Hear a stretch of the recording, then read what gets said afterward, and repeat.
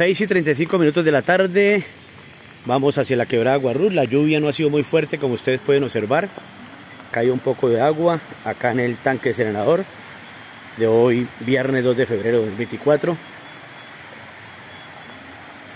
Está normal como, como en el día que hicimos la nota saludando a la ingeniera sanitaria Solange Murillo Baltán a estas horas de la tarde noche cuando ya se acerca la noche si está pasando agua, se va levantando un poco, pero ya mañana viene el operario, limpia la rejilla y el agua comienza a filtrar. En medio de esta lluvia, de esta noche, de este inicio de noche de hoy, 2 de febrero de 2024, este es un informe especial de la quebrada Guarruz, su canal de aguas y el tanque de Serenador y obviamente el río Cañolejo, que por la oscuridad no se alcanza a ver al fondo.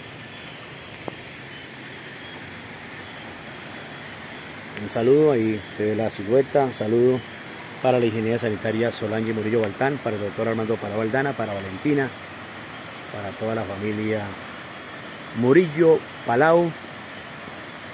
Hoy 2 de febrero de 2024.